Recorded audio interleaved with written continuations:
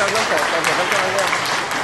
Hôm nay là ngày thứ tư chuẩn bị hết ngày thứ tư chúng mình ờ, định cư tại công ty. đi cơ tại công ty. Du lịch. Và hôm nay chúng mình lại đi tham quan công ty tiếp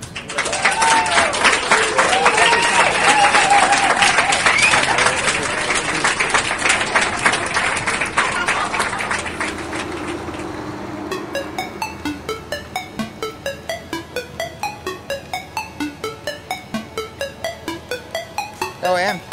Đi ra đá cầu đi ra đá cầu kìa. Có nước chưa? Lấy đừng lấy nước ai uống? Trời ơi. giúp anh lên sao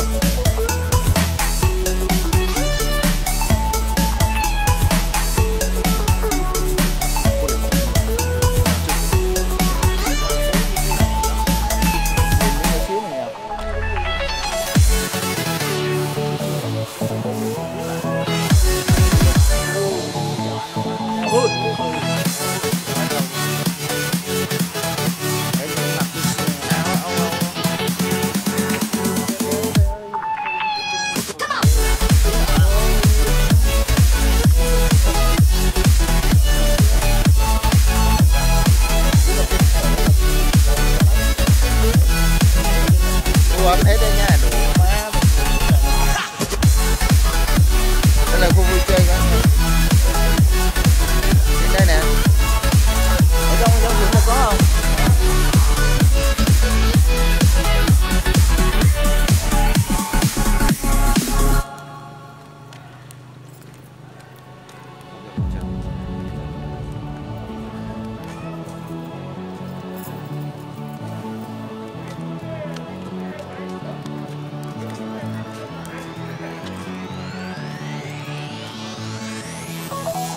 Mẹ lúc nào con cũng đi theo mẹ.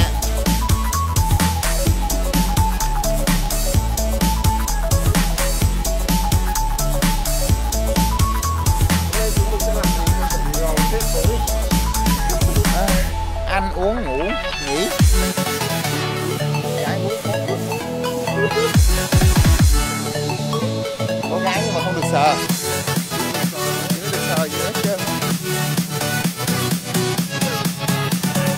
nó sờ được thôi chứ đâu có ai sờ được đâu.